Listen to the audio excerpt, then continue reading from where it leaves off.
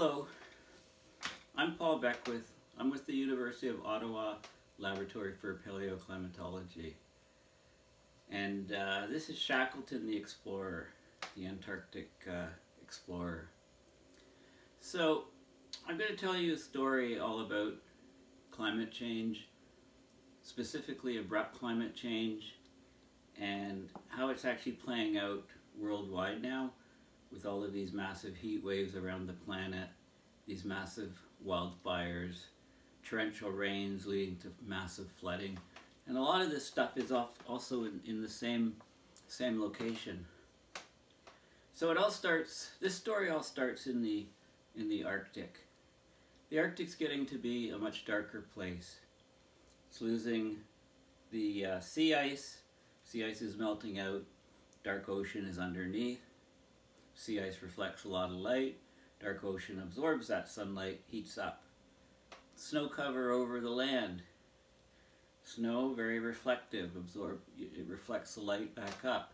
So that energy is not absorbed.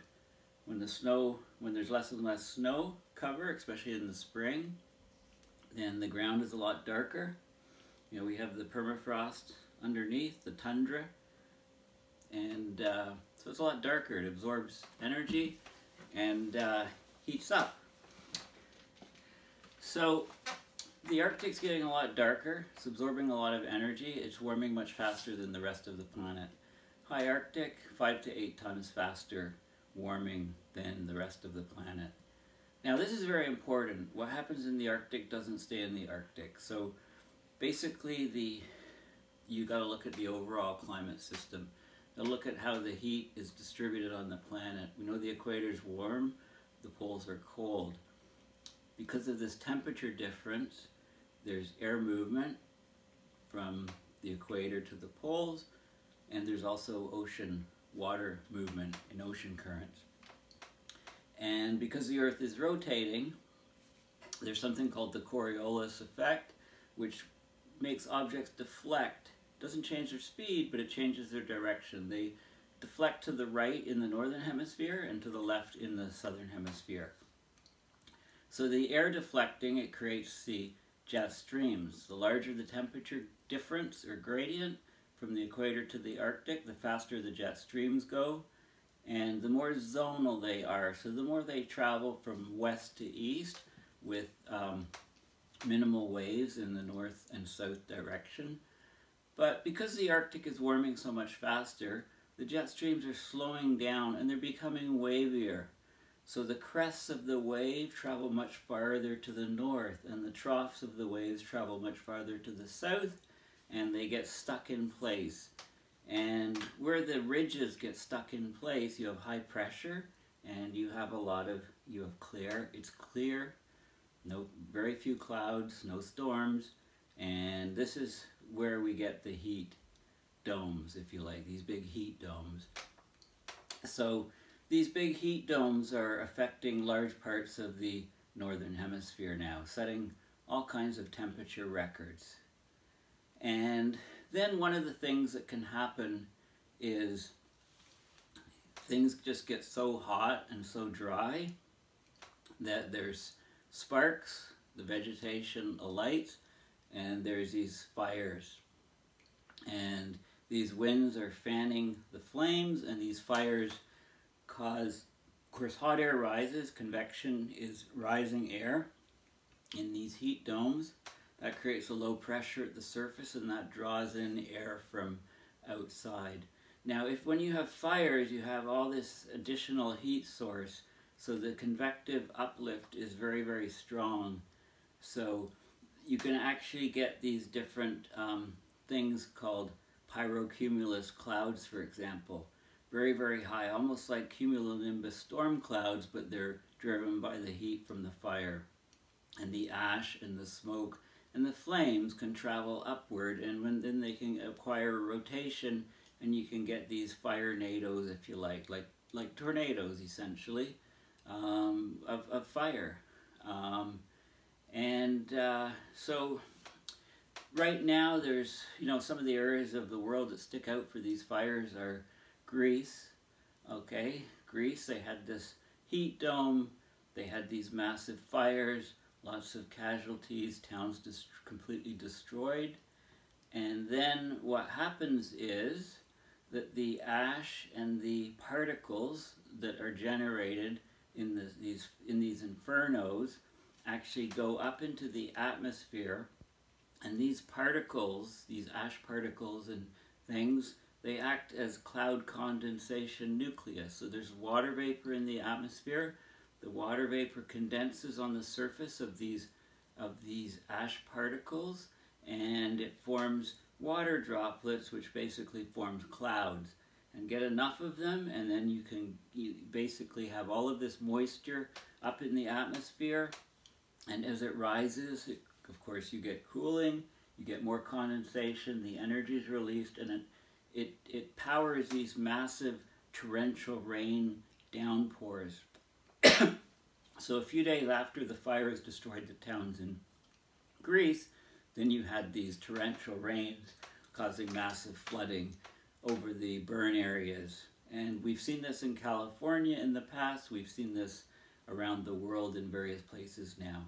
In California in particular, we have the city of Redding, which is under incredible um, assault. Now, this is an inland city, so the the uh, you know I wouldn't expect us to get the torrential rain events um, unless there's sources of moisture unless there's atmospheric rivers or sources of moisture coming coming to that region. So what are the some of the um, implications of all of these, you know, these massive heat waves? And it's almost like the jet streams used to rule weather patterns. They would guide storms, they would basically carry storms from one region to another region so the storms wouldn't be stuck over one area dumping all of their rain.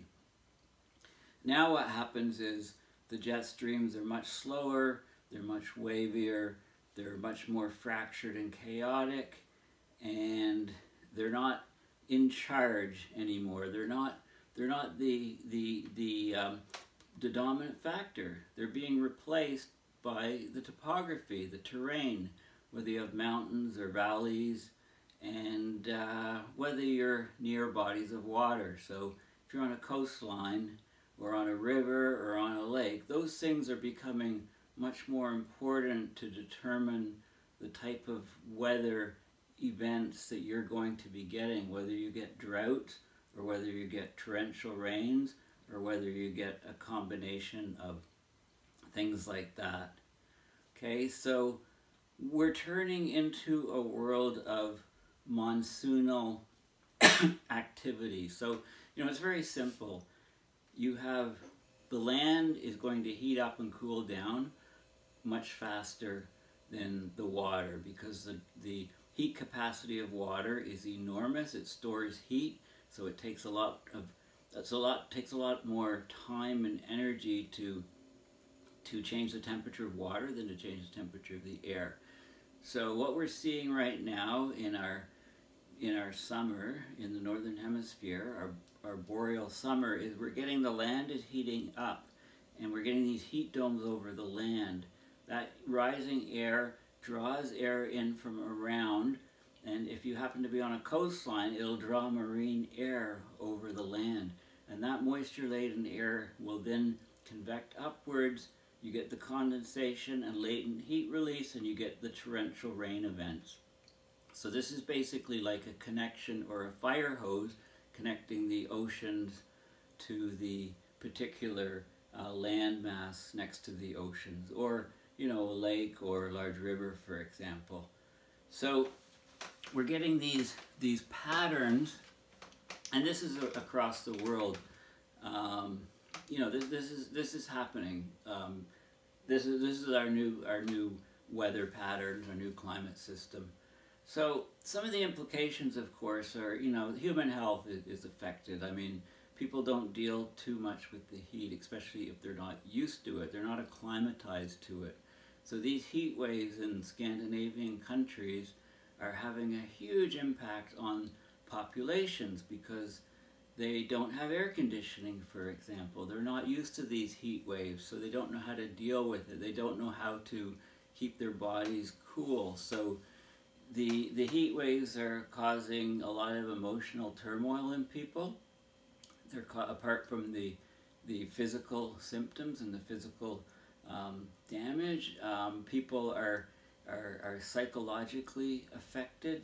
There there's there's more depression. There's more suicides. People are saying what's going on with this crazy weather. They're not used to it. They can't deal with the heat. Um, there's of course, crops are being devastated. Forests and grasslands and trees, uh, whatever whatever is growing in that region is a climate. It's growing because of the climate of that region. So these heat waves are wreaking incredible tolls on the vegetation and crops and things.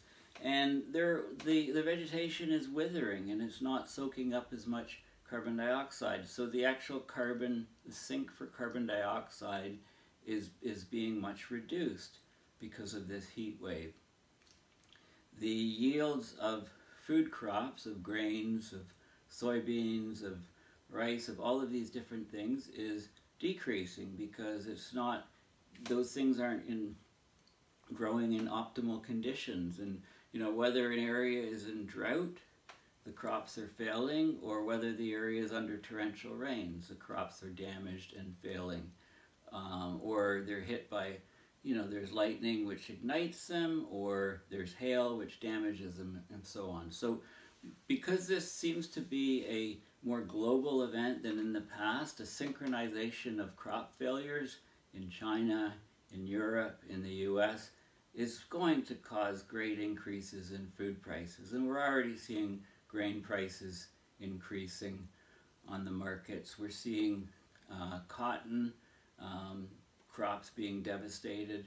We're seeing sorghum, we're seeing soy, rice, all of these different things are under great stress and it takes a while to, to trickle through the system, but you know, expect large increases in food prices soon from, from these events power stations. Of course, you know, in North America and Europe, where there's lots of air conditioning, um, this puts a tremendous demand on the electricity grids. And it's exactly at the time when these grids are being stressed. So if we have uh, nuclear plants, they require cooling water. So they're all located on coastlines or rivers or lakes, and they extract the water um, in these so-called secondary loops to cool the primary loop, the, the reactor, the radioactive material, you know, if it's a water-based reactor. So when the intake water is too warm, or when it's choked with jellyfish, for example, because the water's warm and they thrive, and also in a low oxygen environment they thrive, then that can clog intakes, and these reactors have to throttle down, they have to go offline. And we've seen this happening on some US reactors during heat waves that are along rivers, for example. Uh, power lines, uh, they expand in the heat, right? Materials expand when they're hotter, so the power lines sag more. They're more prone to sway in high winds and to hitting vegetation, igniting fires. Uh, the resistance of an electrical wire increases with temperature. So the, the uh, power going through, there's more ohmic heating, there's more resistive heating, and that will heat the line. So these lines can actually get too hot to, to uh, function properly, and the resistance goes up, so the power losses go down, go go up much higher. So so you can have uh, you know complete failures of, of the power grid. Um, so we've got all of these um, all of these factors are are going on right now in our present climate system. So basically, we're in a climate emergency. Okay, and uh, we have to start. We have to up our game. We have to get in the game. You know, we're not really in the game. We're in a global climate emergency, and we've done basically nothing to address it at the moment. Thank you for listening.